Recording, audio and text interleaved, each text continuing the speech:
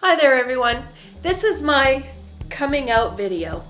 This video is about my story, my journey, and how it may be closely related to your own.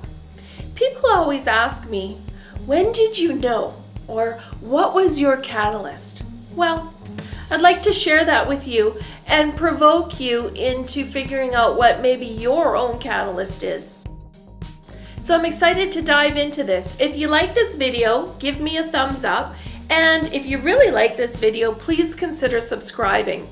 And beside the subscribe button, you'll notice the little notification bell. If you hit that bell, it'll let you know every time I post a new video. My story starts like many other people.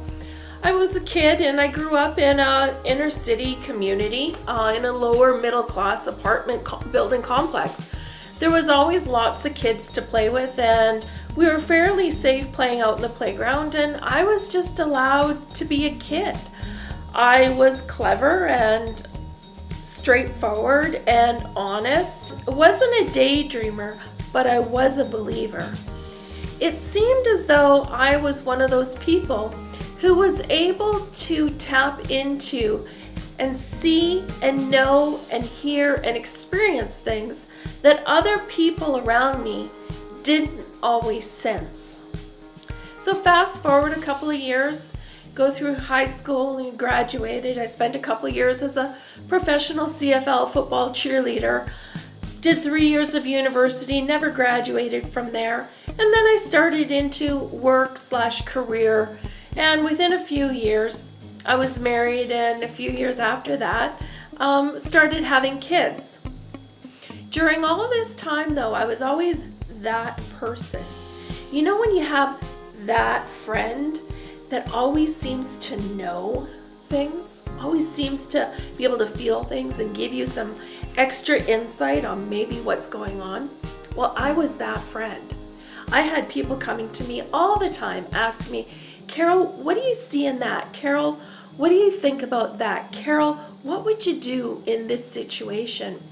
And it was like they realized that I had this inner knowing.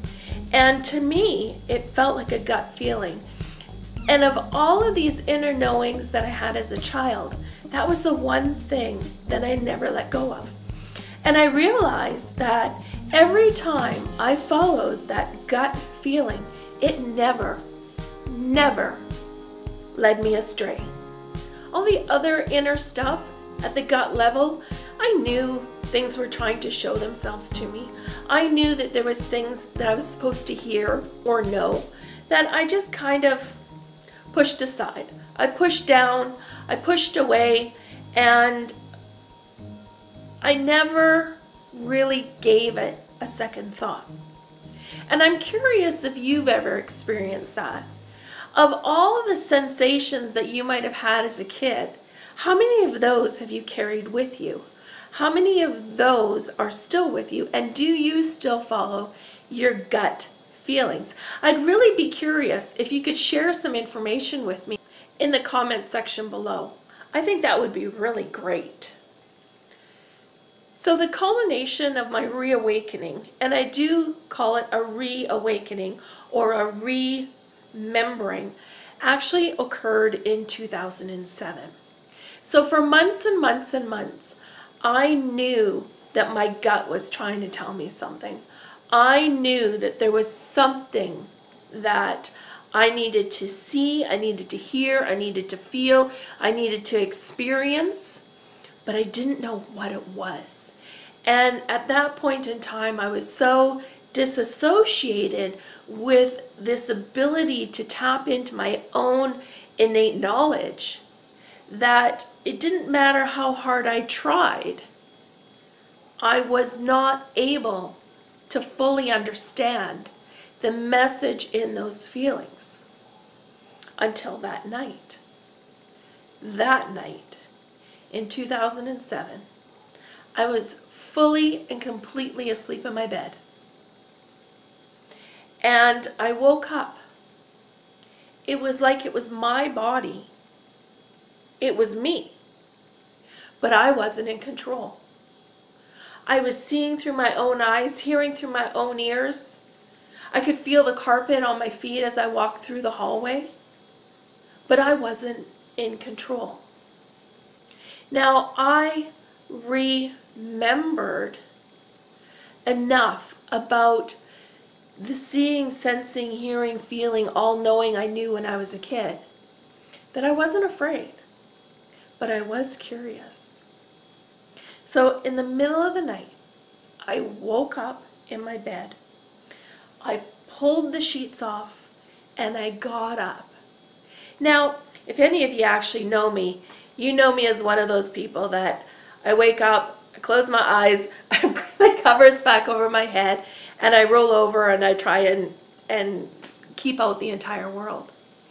So for me to actually wake up, throw the sheets off, sit up, get up, walk through the hall, and walk down the stairs, it's completely out of character for me. Completely. I will bargain with the devil to give me 10 more minutes of sleep or for my bladder to leave me alone in the middle of the night, right? I'm that person. I'm that person. This person that I was experiencing that night was an experience for me. It was me seeing me through me.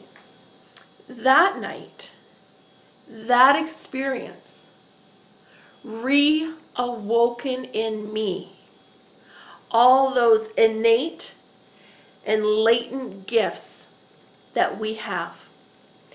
Those gifts that doesn't matter if you haven't experienced them for 50 years. They're there because they are your gifts. They are the way you function and they are innate and latent in all of us. So that's why I'm here. I'm here to be that way shower, to be that light finder, to help you figure out what is still in you, how to pull it out, and how to use it for your biggest and best purposes. That's what I'm here for. That's my gift to you. That's what I'm here to way show to you. That night was my lesson. That night was to show me not to be afraid. That night showed me how our innate and latent skills work. And from that night forward, I've been studying and experimenting with the mind and the eyes of curiosity to see how that works. And then to be able to understand how I can instruct you on opening all that for yourself as well. So many of you have shared with me how this lifetime feels like a remembering. We come into this world prepared for everything, and then that moment of birth, we forget almost everything. So as you come into this work, as you come into this understanding, as you come into this inner world, it is, was, and always has been a remembering. And right now, I'd like you to share in the comments below if you've ever experienced moments of this remembering. So this has led me here today to this Omineca Spiritual Center where we can offer unique combinations of this kind of work. In the mind, we can do the change work to create the new neural pathways, the new way of learning, and the new ways of thinking. All you have to do is be ready and willing to experience everything in a new way. If you're ready, welcome aboard. If you want a quick way to start to learn to open up these new neural pathways, I invite you to a 30 minute clarity call with me. I invite you to 30 minutes of one on one with me where we can develop insights and help you. Help you to access those latent, innate things in you. Help you to understand. And from this day forward, it is my job to teach you how to listen, to teach you how to understand, to teach you how to comprehend. And the best thing about this clarity call is free. There's no obligation. I'll put the link below where you can even go in and you can pick your own time. I've made it really, really, really easy for you. And I'll put that link in the description box below. So I would like to take a moment and just thank you from the bottom of my heart for choosing to take this time out of your day to spend a few minutes with me. I'm so grateful, and I look forward to seeing you on the next video. See you next time.